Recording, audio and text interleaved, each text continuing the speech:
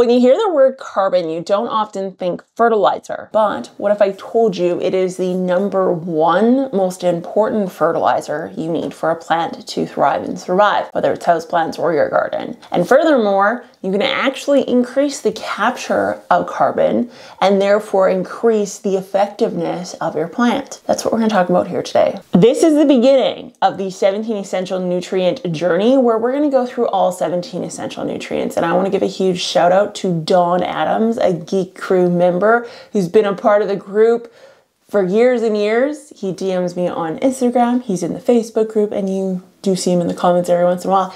He loves this series, so to be honest, as a tribute to him as being a long-term follower, I'm giving him 17 videos. He doesn't pay me a single dime. But I love you, Don, and you contribute to the community, particularly in the Facebook group, so much that my gift to you, my Christmas gift to you. Depending on how well this series does, I may release these back to back. Otherwise, if we start to lose interest, I'm going to trickle the videos out over several months so it's based on your guys' engagement, comments, likes, that sort of thing, how this will progress. 45% of your plant is made up of carbon. And this is because it is the number one factor in biomass accumulation. And furthermore, if we look at the equation of photosynthesis, we very quickly realize that carbon goes in and carbon comes out. And because of that, it is used in nearly every process within your plant. So without it, your plant can and will struggle. What factors actually decrease carbon uptake? Well, factor number one actually is temperature. And this goes for both directions. If it's too cold and the plant is struggling to uptake water and not in an ideal zone to accumulate biomass, particularly if you're in spring or fall when the light isn't out as often, this decrease in photosynthesis, this decrease in demand actually will decrease obviously CO2 uptake uptake. So the way to counteract that would be with grow lights, for example, which is what we use usually in the spring. The other side of the coin is too much heat, and this actually comes down to the stomata and how they function, which is the main organelle in which carbon is uptaken. So stomata are found all over the plant. They're found on the bottoms of the leaves, tops of the leaves, stems. In some cases, depending on the plant, they can be located closer to the bottom as well all the way to the tippity top. So something I think you guys actually would genuinely be interested in is the fact that plants can be split up into three different groups when it comes to the uptake of carbon. And the reason for this is because they all have varying levels of stomata and they also have different ways of regulating what we call photorespiration, which is essentially how the plant reacts to heat, light, and air moisture.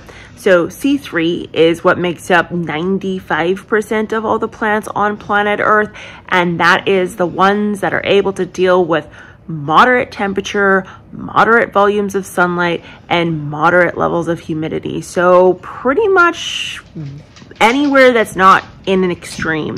Now, C4s are ones that are slightly better at regulating uh, photorespiration and are better or suited to living in spaces where sun is maybe a little bit more intense, water is a little bit more restricted, and maybe the humidity is, you know, slightly drier, for example. Now, the last one is actually the CAM plant. So C-A-M, capital, all letters capital.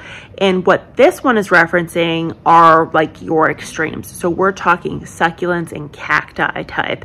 And these ones not only are obviously better at photorespiration because they're used to being in very dry, very high heat, and a ton of sun, they also are they have less stomata on them.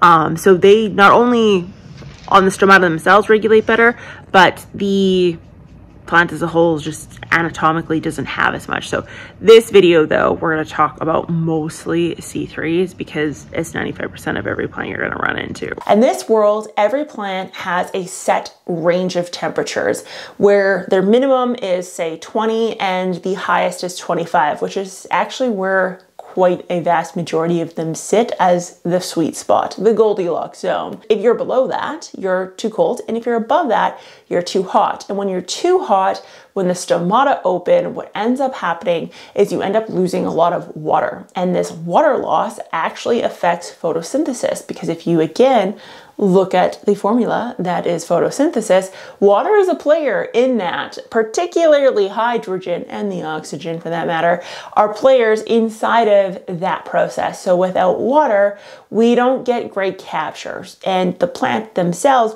will actually try to conserve water when it's under heat stress because despite popular belief, plants may not have brains that we know of yet, but they do react to stimuli. So there's that. Now, the first way to control temperature, if you're indoors, obviously, you can control it pretty easily, but outside is a different story. So number one way to actually control too much heat would be through shade cloth, for example. Now you can get different degrees of shade cloth and you're gonna want to test different levels to see where yours land, whether you have a sensor or something to that nature that's able to detect ambient temperature, that's to be important in knowing if you're in that zone. It can be analog or it can be something fancier. You want to make sure you're tracking that. Now, on the other side of the coin is too cold. And if you're in this space, you want to think of shelter belts.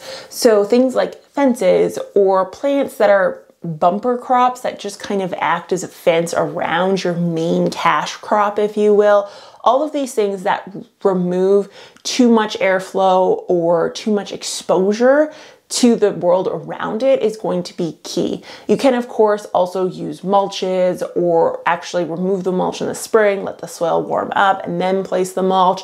All of these different things will help keep that plant warmer. So that's factor number one. Factor number two actually comes down to humidity, and that's ambient humidity.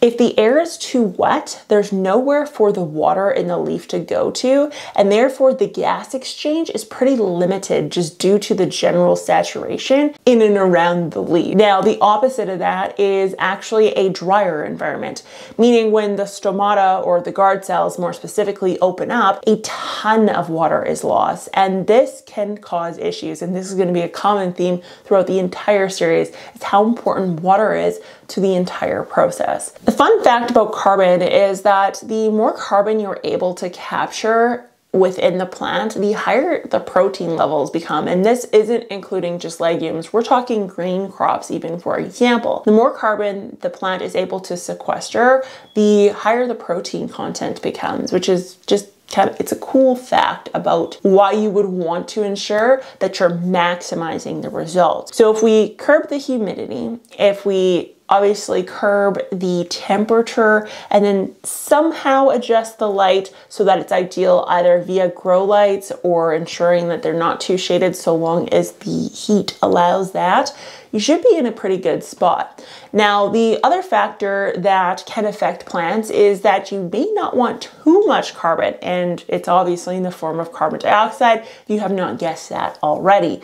And too much carbon dioxide can actually cause a diluted plant of sorts. More CO2 with the absence of the water, with the absence of the nutrients, with the absence of the proper genetics can actually cause a plant that is lower in nutrients, just overall poor in its quality, if you will. And if you want to learn more about how carbon dioxide, carbon, actually does decrease the nutrient content of your food, you're going to want to check out that video right there. And this video down here is what Google says you should watch too. So I'll talk to you guys next time. Bye.